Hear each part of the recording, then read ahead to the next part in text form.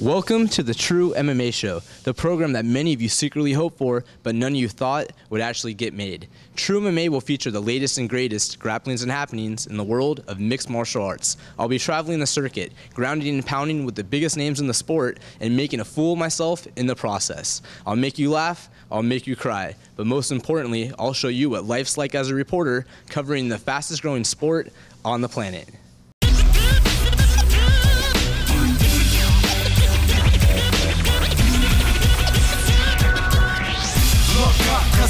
The clouds. I bet you see me now, you see me now. No speed limit, can't slow down.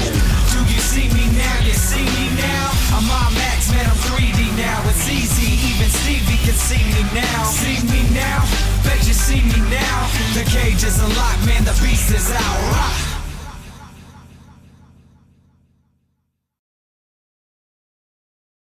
As well as being the former UFC light heavyweight champion, Tito Ortiz has been extremely successful outside the cage. He's been in movies, television shows, has his own clothing line, and this year he was a contestant in the Celebrity Toyota Grand Prix.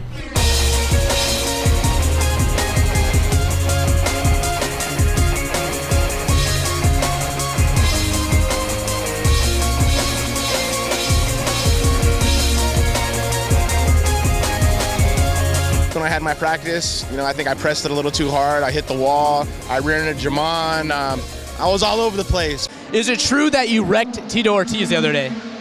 Well, you got your story wrong. You mean uh, Tito Ortiz wrecked my car? Jaimin Unsu. Well, You've you, you can't say my name. That's why you gotta, you gotta hand it over. I just ex- I just explained it to you just now. If you're gonna correct me twice on my own show, I can't promise there may not be an issue with your car during the race. You've got to wonder, are these celebrities a bit nervous to race with Tito Ortiz? He did wreck a car during practice. You know, are you worried about wrecking in the race? Are you going to be ready? No, I ain't gonna wreck in the race. No way. Now I know the limits of the car, and it ain't gonna happen again. Now I'm back up, revving like a NASCAR engine, attacking the backboard like Shannon Brown at Game 7. I'm getting it in. Well, if it happens, I am going to put Tito in a rear naked choke. Let me ask You've Been practicing. You want me to show you? a woman choke me? Does she even have to ask? I gotta stay away from Tito Ortiz. Uh, I'd rather get uh, get hit by his car than one of his punches for sure. If, uh, there's one guy that can take a hit, I'm sure is that guy. So uh, I think it's not going to be a worry. No, he's a really fast competitor. He really knows what he's doing out there. Hey, don't blame me for being a sellout. I love the Jonas Brothers. Mmm bop. Mmm mmm mmm bop. Brian, Austin Green. I'm here with David Silver, we're, uh, one of the former guys from 90210. Hopefully, I won't see him unless he's taking out a group of people and he's against the wall and I'm passing him. I, I shouldn't have to race with him because he's out of his mind. Hell no, I'm not injured. That was some fun right there, baby. Woo! Any chance I can ride shotgun with you in the race? I don't know. You gotta ask them. You're more than welcome to if you can. I knew something was funny when you handed me the key to a 1987 diesel Mercedes Benz.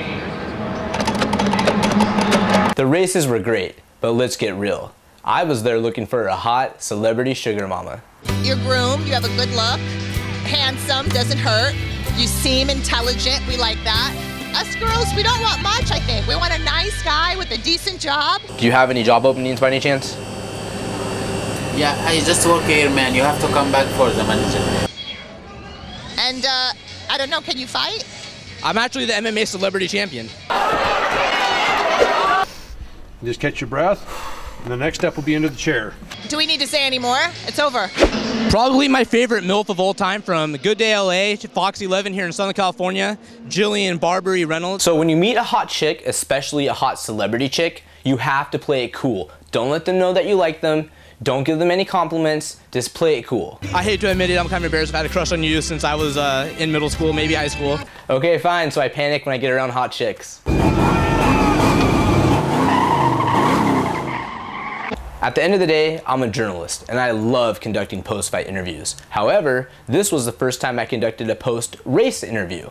Check out my guerrilla tactics as I show you behind the scenes what it takes to get the post-race exclusive. Record. I'm gonna just go for a guerrilla interview. Tito, are you injured from the wreck?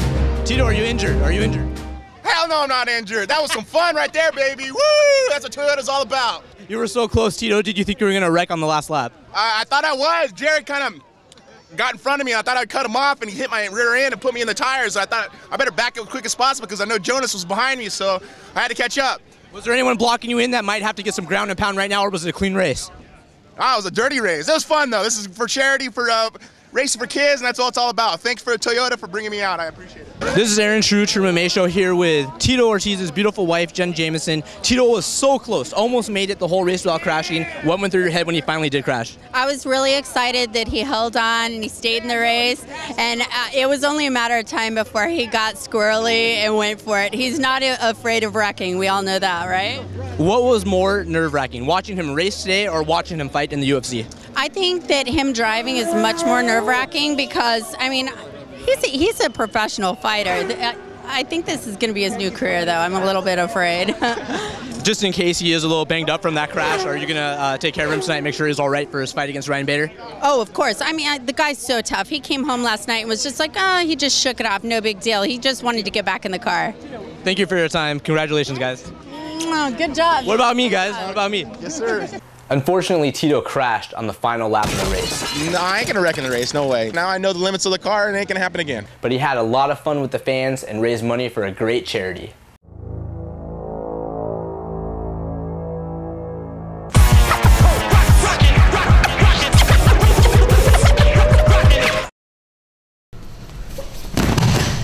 Time for technique of the week.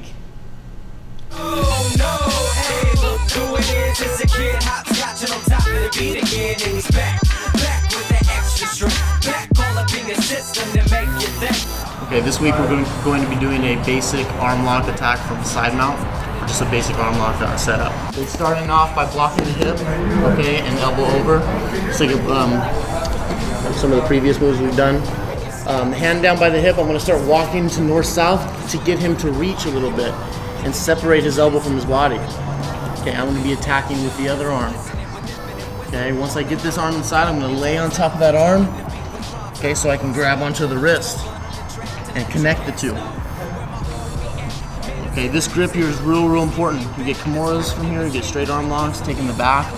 Um, what you need to realize here is that once I have this grip, I can pretty much stand up and separate myself, and he's not gonna be able to get his elbow back. Go and turn in, turn into uh, towards your arm, Jeremy. All right, see, I can keep control of his arm just by just by that grip. Okay. Once I establish, I like to hop around all the way to the other side. Throwing the leg over if I need to. A lot of times people block, so you're to need to turn it into spider web. Okay, but if he doesn't block, we can finish with the arm the arm lock without the leg over the body. Make sure we pinch our knees together. Come in the back door, laying on top of the arm so I can grab the wrist. Connect the two together. Okay. Now you can walk around to the other side and do it slow. That's fine. Or you can trust your trust this grip. Jump all the way around. Okay, guys, that's our technique for the week. My name's Sean Bollinger. I'm with my partner Jeremy Fields. You can check us out on 10thplanetjjrip.com. Yeah, no, no, I hear you, and and and that's ridiculous. You, you just made me a lowball offer. No, no, he's not going to do the photo shoot. What? Penny? That's pennies on the dollar. Absolutely not. I need that. I need that gig. Okay, I'll call you back. Bye. I need that gig, Wolf. What the hell? Trust me, you don't want that gig right now. We're gonna make him sweat it out. All right?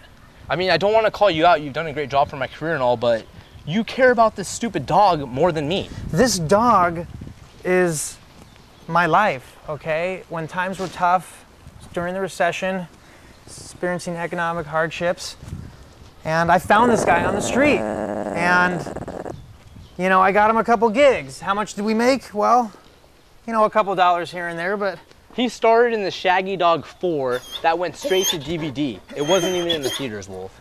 What I'm asking you is, what are you gonna do for me? My career is starting to blow up. We got the TV show now. I need some publicity. What do you have lined up this week?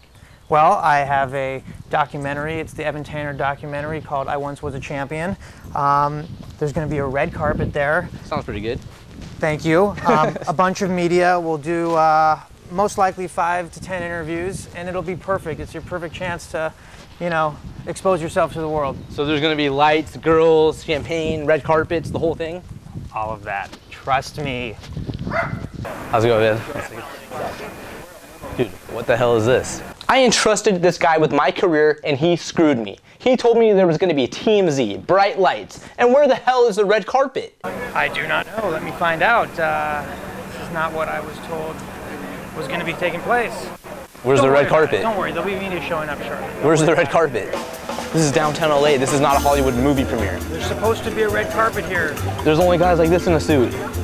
You know what? I prepared for this moment for a long time. What the hell is that, Wolf? I always carry a makeshift red carpet. This is perfect. This is a great, great shot. We'll get a camera crew over here, and you'll make your own little red carpet. No one will know. So you're telling me to film my own red carpet right here like this? You see a better option? This is ridiculous. I'm supposed to stand on this thing? Who am I? F***ing Aladdin? What Tru doesn't get is that, you know, all they're going to see is a tip of the red carpet. That's all they're going to see. They're not going to see anything more. So it doesn't matter if there's A list celebrities or D list celebrities. As long as they see that little piece of red carpet, that's all that matters. This is Aaron Tru outside the premiere of I Once Was a Champion, the industry screening with the director, one guy who's responsible for the movie, Jared Roxburgh. Tell us about the movie. What are we doing here tonight? How's it going? Uh, making a film about Evan Tanner, uh, former UFC champion, and uh, I've been working on it for probably about two years, and now it's coming to fruition. I actually met Evan online. I was just a fanboy trolling the forums, like you know MMA.tv and Sherdog, and I used to follow his blog because I wanted insight into training, and. Uh, ended up reading his blog. It had nothing to do with training, and I was going to make a documentary about him sobering back up and getting into the UFC. And at the same time, my uncle died, and so I decided to go make a movie about him back in Scotland. And while that all happened, then Evan ended up getting back in, and then he passed away. And then it just made sense to natural progression was to make a film about him. As a director, your job is to tell a story. Tell us uh, the most important part of Evan Tanner's story that you tried to capture in this movie. It's a tough question. Uh, Would it be maybe his impact he had on everyone else, all the friends and uh, people in society? Yeah, I- I'd say, I mean, this is definitely like a character piece because depending upon when you knew Evan, you knew a different side of Evan. So it's, it's really about how one guy can have so many different impacts on so many different people's lives. And the important thing to understand is this isn't this isn't a fluff film for Evan Tanner. This is, you know, a, a true to life what he went through and how he affected people as true as Jared can make it. So I think that's what's important to understand. Well, I'm here to uh, pay the respects to Evan, and uh, it looks like it's going to be a great documentary. I'm really stoked about it. He was a really free spirited philosopher, um, a lot like me in life, and uh, went on great adventures in his boat and everything that I always like to read about. He died tragically at a young age. Do you believe in the afterlife or reincarnation, or where do you think his spirit is now? Do you think he's gone, or that he still has a part here in the universe? He's still around us. Well, Albert Einstein said a really good thing that uh, energy and matter can't be destroyed, only transformed. And we got these virtual particles in quantum physics that cause other particles to decay into different particles, plus the energy So I think uh, that's just a, a radical transformation onto bigger and better things. And um, it'll be great to see what the Great Spirit has in store for us. Um, it's uh, it's just a beautiful universe and awesome to be part of it. Like we're all surfing the infinitely accelerating current of creativity and the interconnectedness of art and science and spirituality and. Uh, It's uh, it was great to know Evan. Um, all people's lives that he touched, he made better and inspired, and to be free thinkers and artistic and The Evan Tanner documentary was very moving and well done. I hope you can all check it out sometime and see what an incredible fighter and human being Evan Tanner was. All in all, it was a great night. But when it comes to my publicist Wolf, it was too good to be true. I've worked in PR for about five years now. Um, started out doing um, a little bit of sales, a little bit of marketing, but uh, then I went uh, to another company and did more work with uh, celebrities, you know, uh, mainly A-listers, some B-listers, sprinkle in a couple C-listers. Um, it was music and sports, so um, got to see a lot probably more than I wanted to see. So when Tru tells me that I don't know what I'm doing, you know, I'm not doing things the right way or I need to do this a little bit better, part of me listens, but the other part of me says he's got no idea what he's talking about. So, you know, I just chalk it up to it's a publicist's job. It's a publicist's job. Yeah, I'll sign off on that.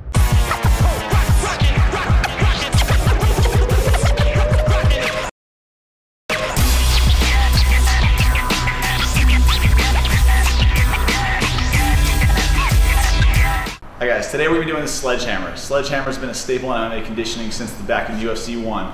Pretty much what we're going to be doing today is taking a different version of the sledgehammer technique. We're going to be doing the long handle. This is going to be working a little more core, rotation, hips. It's more geared for jiu-jitsu and judo versus striking. You'll start with the hammer in a long handle stance, so grabbing it all the way down. You'll step through, exploding through the hips and abs, and it'll look something like this.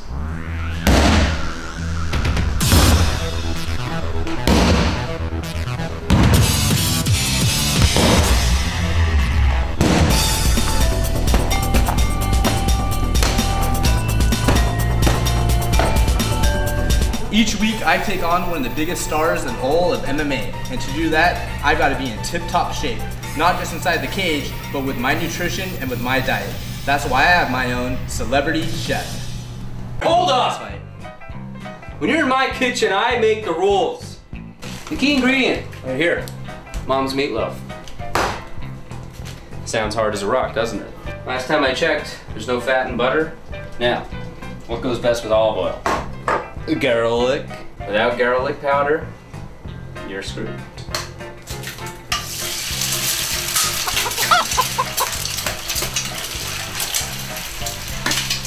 You might think a lot of oil for, uh, you know, just a couple eggs there, huh? Boom. There it is. It looks like this kind of frittata thing, um, but again, a lot of amateurs out there claiming to be chefs. What are my credentials? Hulk Hogan before Hogan knows best. Randy Couture, Uriah Faber, Royce Gracie before they called him Hoist. Jose Aldo before everybody knew to call him Jose. Leonardo Machado before he kicked out Randy Couture's teeth. You know, you gotta punch the meat, punch, punch the meat, punch the meat. Bang, bang, bang, bang.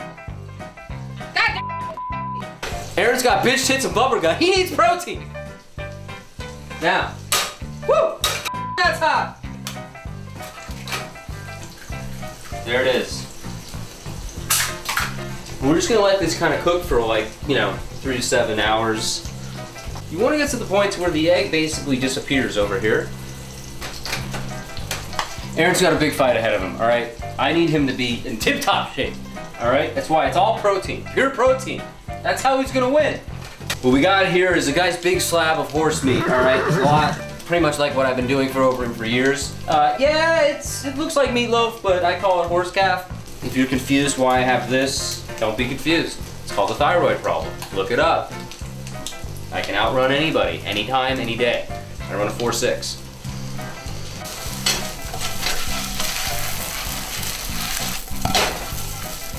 With my meals, my diet plan, sure will beat anybody. Delicacy dishwa. It's still frozen. As Tru's publicist, it's my job to make sure he has the best possible relationship with all of his fans. How do I achieve this? By reading and responding to fan mail. In this segment, uh, Real Original Anonymous, Anonymous writes in from Des Moines, Iowa. Dear Tru, I'm an eighth grader, and like most eighth graders, I have problems with bullies picking on me. They bully me all the time. I'm also a little person, which makes matters worse. Can you offer me any advice as to how I can deal with these bullies? Well, Anonymous, you request, we deliver.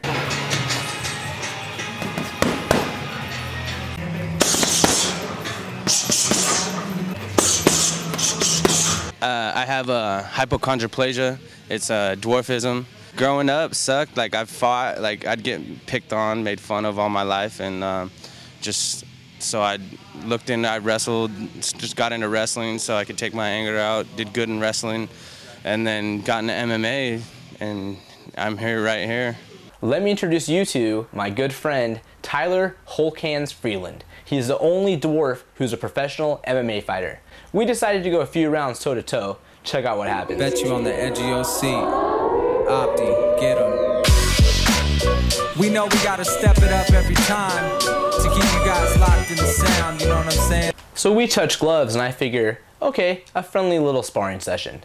No pun intended. Been training in the dojo so we could go head up. The victory's guaranteed, kinda like a setup. This little guy's trying to decapitate me.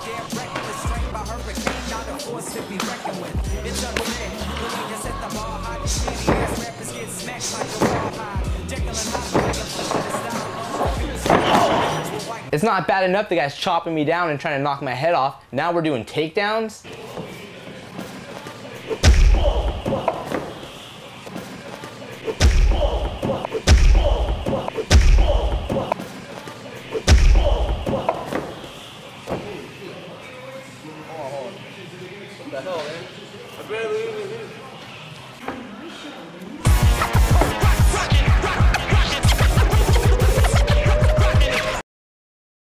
Tyler Hulkhands Freeland has an incredibly inspirational story.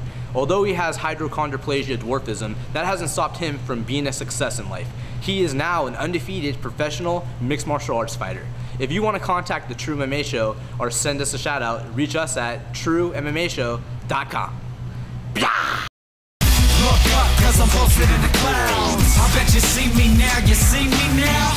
Speed limit, can't slow down. Do you see me now, you see me now?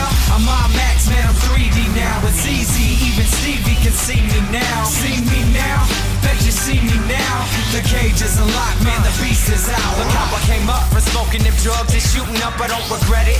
What can I say? I always end up, but I'm reaching for a higher level. Somewhere eons beyond heaven, I'm ascending.